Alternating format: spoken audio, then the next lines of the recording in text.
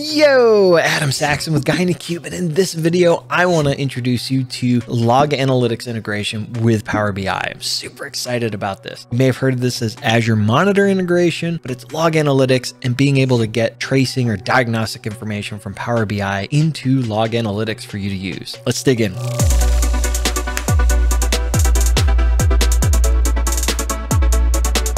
If you're finding us for the first time, be sure to hit that subscribe button to stay up to date with all the videos from both Patrick and myself. Log Analytics. Whew, what is this, Adam? Log Analytics is actually an Azure service, so Azure Log Analytics. It's part of Azure Monitor. What this does is just a way to store logging information that can then be easily queried and then analyzed as part of diagnostic collection. The actual Log Analytics integration for Power BI is going to be a journey. This is a new preview that's available and as of the recording of this video, the initial item that's available with it is the analysis services trace information. So this is effectively like what you would get if you were to slap SQL profiler trace against analysis services or against the XMLA endpoint in premium. And so what this is doing is allowing you to take that trace information and just pump it into log analytics. So I don't need to run a profiler trace anymore. It allows me to shortcut the ability to just dump that information somewhere. So I don't need to deal with orchestration.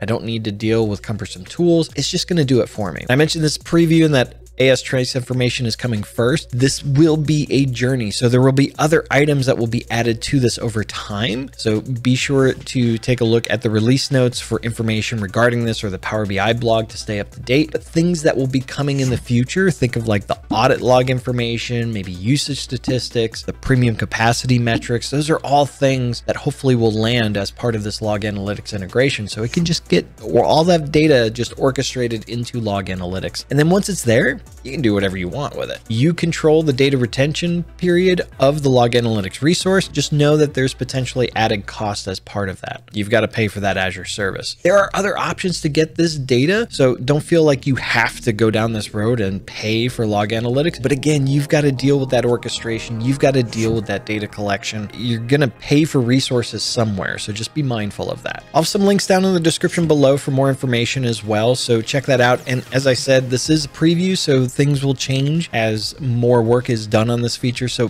definitely stay tuned to the Power BI blog for more information. All right, enough of all this talking let's head over to my machine and actually look at this. I'm going to walk through some of the initial setup. It's not super complicated, but there are some steps. In order for this to work, the Microsoft Insights resource provider has to be registered at the Azure subscription where the log analytics service is going to be. This is something your subscription owner is going to have to do. So under resource providers, you want to make sure this Microsoft Insights is registered there. Once that's done, you've got to go and create the log analytics resource itself. So I've, I've got two here. I'm going to look at the Power BI logs two because that's not set up currently. The other one is. Once we're inside the actual log analytics, one thing we have to do is we have to add the Power BI service as a monitoring contributor to this. So we want to go to access control, want to go to role assignments, and we are going to add a role assignment here. So we're going to add the Power BI service itself. So this is not something you have to create. It will exist there. This is an actual Microsoft resource that's available. And we want to add them as a monitoring contributor. So not not regular contributor, they need to be at least a monitoring contributor. This is what allows the Power BI service from a diagnostic information to add that data into the log analytics resource itself. So this uses the diagnostic infrastructure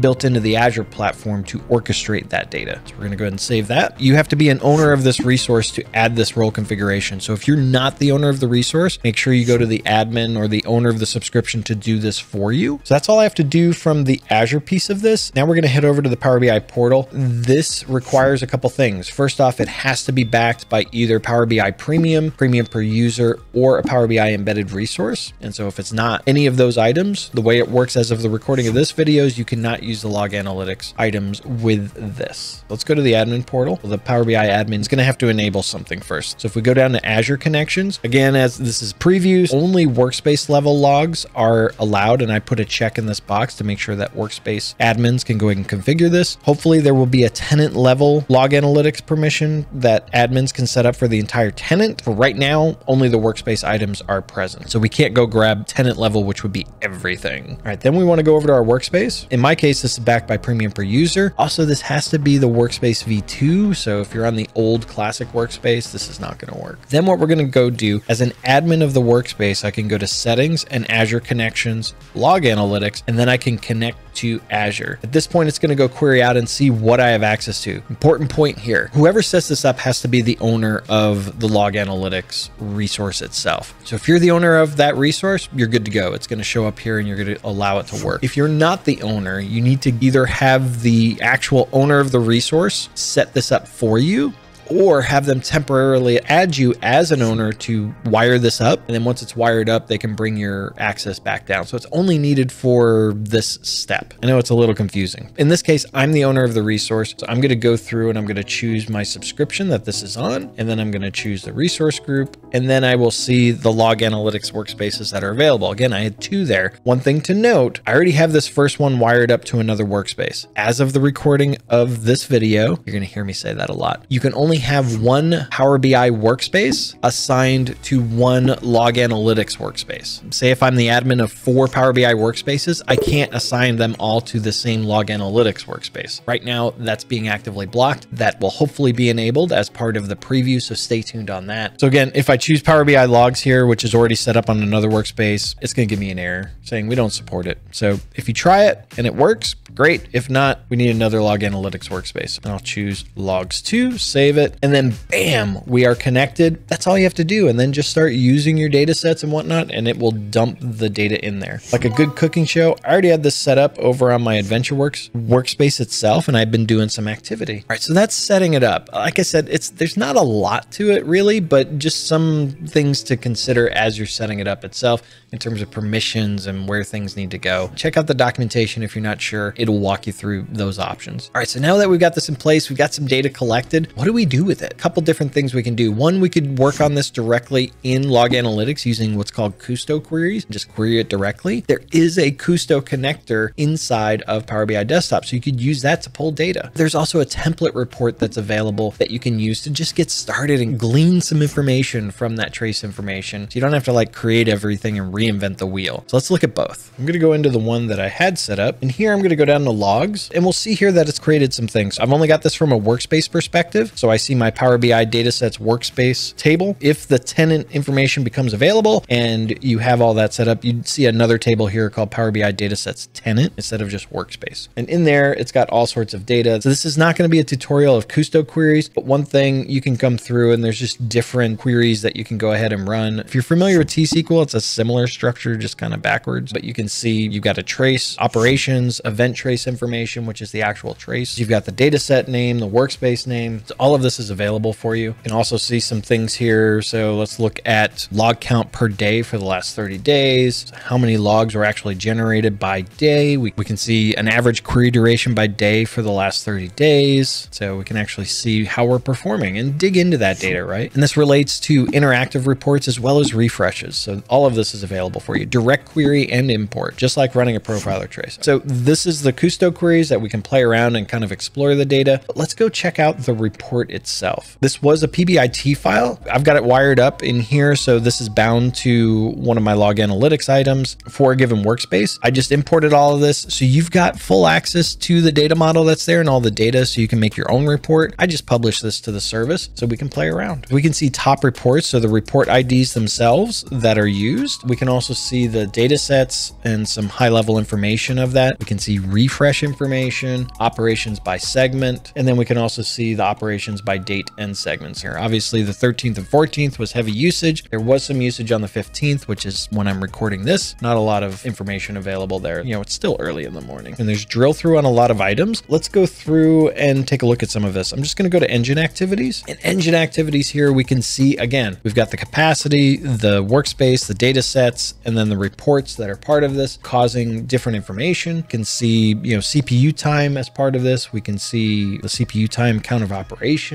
If we come through, we can see that our query completed items, we see a lot of performance here. So I could right click, go to drill through and go to engine activity details. And we could actually see by time segment, what were those queries that were actually issued. And you can actually see the event text. So this is the DAX query that was actually ran and you can see how long it was taking. Even from here on this actual query, I could right click and I could say drill through and then go to query detail. And here you would see sub-related items. As of the recording of this video, the storage engine queries actually aren't present. Hopefully that will come soon as well. If this was a direct query operation, you'd see the direct query item here as well. In fact, let's go back and check that out. Let's go to engine activities and I want to look at sales DQ and we want to go to query completed. I know that this one is direct query. So if we go to engine activity details, we can actually see these items. And then if I right click, go to drill through, go to query detail, bam, there's my direct query event that was sent as part of this DAX query that was sent from the visual. If I go to dataset refreshes, got a nice little Gantt chart that will show us plotted items. Uh, if I go through here, we can look at a given refresh for my AdventureWorks database. We can actually see how long it took. And then I can right click, go to drill through, and then go to dataset refresh details. And the details of this specific refresh here, there's a Gantt chart. I don't know if the Gantt chart custom visual will be used once it goes GA and whatnot. So this may change to some other type of visualization. I do like the Gantt chart though, but there's a lot of information here. And so you can dig into really what happened as part of this in terms of compression on columns, the actual data read from the data source, lots of information here that you can go explore what's going on with a refresh. Query statistics, we can go through again and, and look at breakdowns so we can see what's performing bad. Where can I go after to try and optimize things? This is a great way to drill into that information. You can also see user activities. As of the recording of this video, I, have seen some other items that actually showed the users here. I don't know why this shows NT Authority system. Hopefully it's just a preview thing and that will be updated. In my case, I had actually like three different users going in. Looking forward to that to actually break down to see which users are actually doing the most on the given data sets and whatnot. And then error summaries, if there are errors, you can go through and try and take a look at some of that information. So here I could do drill through and go to error details and potentially get more information about it. I only had one error though, so there's not a whole lot to see here. Really excited to see more information come with this, as well as additional capabilities inside of log analytics. So just stay tuned. Like I said, definitely play around with this once you get it available and see if you can glean insights of your data sets. All right, I want to hand it over to you. What do you think about this? Is this bananas? Does this allow you to actually dig into more information?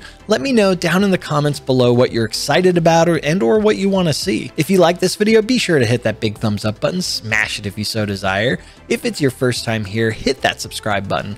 And as always, from both Patrick and myself, thank you so much for watching. Keep being awesome, and we'll see you in the next video.